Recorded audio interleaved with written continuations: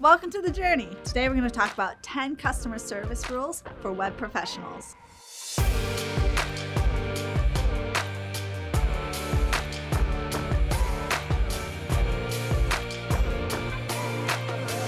All right, we're talking about 10 customer service rules, but why rules? Why? Why all the rules? Nobody likes rules, right? Especially Em over here. What? That rebel without a cause. but our rules are here to really help you with your business and help you grow because not every web professional follows these rules. And if you do, you really set yourself apart. All right, so rule number one, and that is to respond to your customers' emails within 24 hours. Now, Emma, why do you think that is just so important for these web professionals? Yeah, because it is an indication of your customer service. The longer you make that customer wait, the longer their problem is not resolved. And the longer that they're thinking about leaving you and going to someone else. Yeah, and you know what you can do too, because I know when you hear that 24 hours, I need to respond, I'm doing a million things. Right a great remedy is to have a reply email that automatically sends out to your customers when they email you, just letting them know, like, hey, we're in the process of helping you out. Yeah, and I used to freelance and do all these things, and my clients expected something almost immediately. And some of those tasks, it take, took a lot longer than the 24 hours to resolve. So giving them that little bit of follow up of, hey, I've heard you, I've got your request, it's on my mind, I haven't forgot about you, yeah. goes just a tremendously long way. All right, Neely, so this is like the perfect segue into customer service rule number two, update.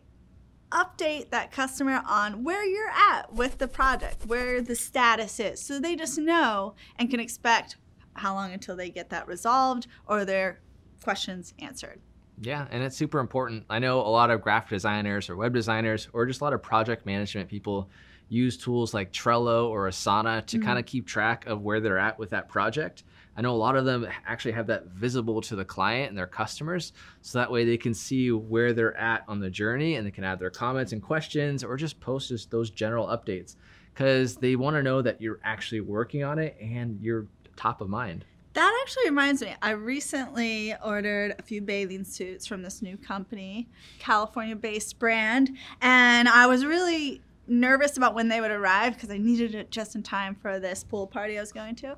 And what made me feel at ease was the update at any time I could see where my order was, even down to where the truck was going to drop it off at which FedEx that I could pick them up. So it, it would put me at ease that, hey, I'm going to get this bathing suit in time for this um, beach goth party, which hence the nails. and yeah, you can reverse engineer that with your own business. Have your own shipping tracker, but for your projects or your updates or whatever that looks like for you.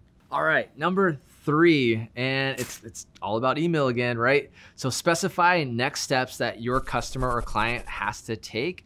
Don't put it in the middle of your giant paragraph. Break these up. What I like to do when communicating with clients is I'll have just the general info and everything we're talking about, and then kind of at the very end, so they actually look at it, right? Right. Things I need from you, and it's very bold. bulleted, bold, right? We don't want that to be missed. So just have those next steps, those actions that they have to take, so they're not forgotten. Because you don't want to be a week or two later and like, hey, I sent you that email. Where are you at? Like, I need that stuff to move forward, and they go, what are you talking about? Whoops. I, yeah, it's it's you're not gonna have a good time. So make sure you have those next steps bold, super clear, and not in the middle sandwich somewhere. All right. Number four, the shorter the email, the better. And it's more likely that the customer or the client is actually going to read it in its entirety. And also keep in mind subject lines. What's going to get that customer to open your email in the first place? Right. And go ahead and look at your inbox right now and see, kind of look at some of the emails that you've received. Which ones are ones that you would actually look at, like clear, or which yeah. ones would you just skim and pass over? Mirror the ones that are those good examples in your inbox. You're like, okay, cool. They have headlines, their email, paragraphs are short and sweet. They maybe have some images or links that I have to click on. Keep it that short and sweet and make it easy for your client to take those next steps. Customer service rule number five, and it's one that I'm guilty of literally every day. Um, it's not to answer emails or calls when you're just not in a good place to take them, right? You could be with your family or at a baseball game or skateboarding and you get a call from a client or from someone you work with, and your first instinct is to answer that phone call. it's sometimes just not a good idea. I don't have the most intelligent responses when I'm not in work mode. I have to be in work mode to actually get good stuff done, right? But also goes back to what we spend a lot of time talking about work life balance. When you're at that your kid's baseball game, be at your kid's baseball game. And when you're deciding, hey, I am done with work for the day, be done with work for the day. It will actually help you to have a longer career and also business without getting burnt out, right? So definitely keep it separated. And like Neely said, you want to be in the right headspace when answering that call. And it, it might be very well tempting to just take it. Oh, I'm driving between point A and point B. I see a client is calling. I'll just take it right now. But you might not be in the best headspace to handle that call in a professional manner. Now, one thing that's really been helping me out a lot lately is I have our SmartLine app where I have that second phone number. So I have my One office phone, hours, right? Office hours. So I'll get calls from X time to X time. When it's not that, it goes straight to voicemail. It's really helped me to make sure I don't answer those phone calls. Smart. Uh, so SmartLine has it. I know Google has a SmartLine type phone offering.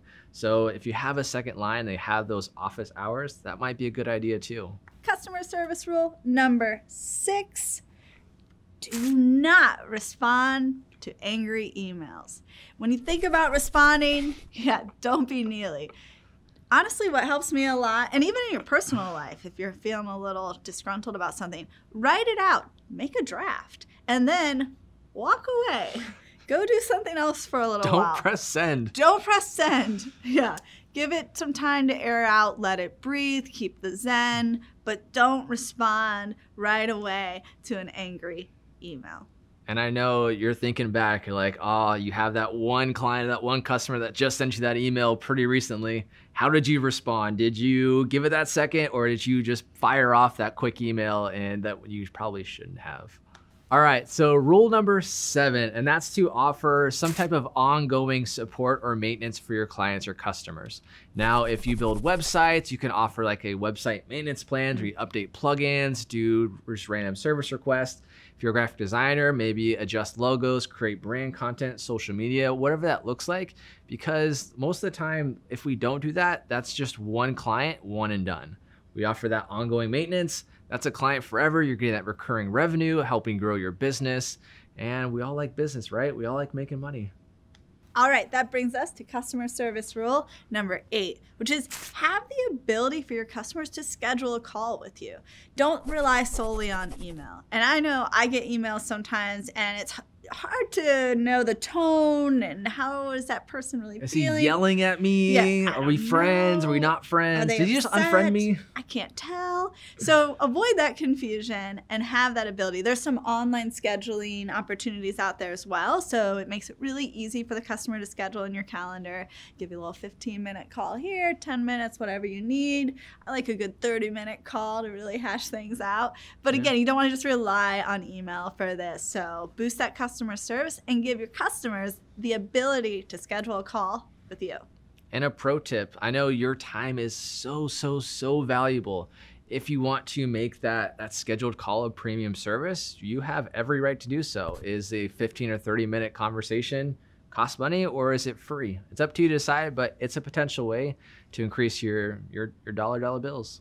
All right, customer service rule number nine, and that is to take the blow from the blame. I know you'll end up getting that angry email. They'll say you were wrong, you did this, you did that, and what we don't want to do is one going back to that rule is fire off that angry email, and we don't want to place the blame on them or just fire back and escalate this, right?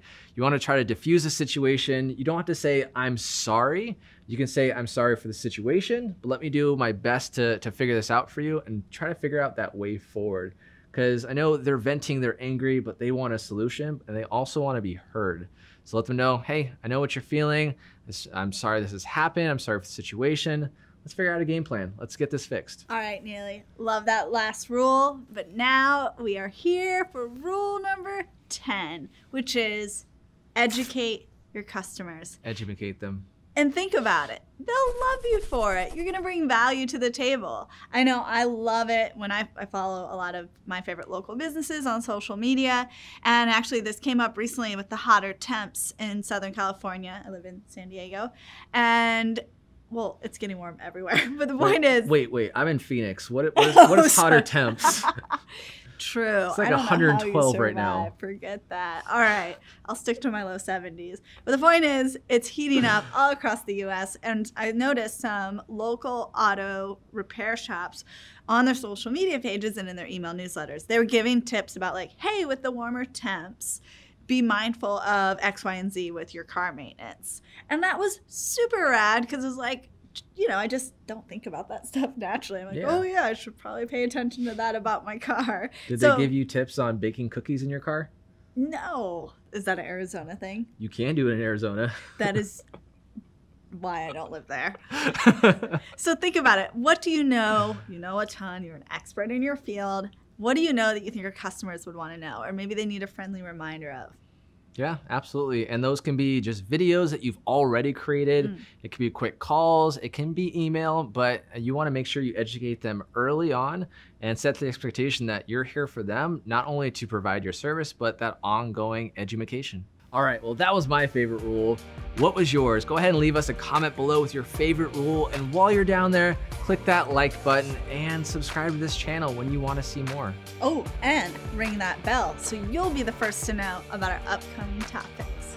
This is The Journey. We'll see you next time.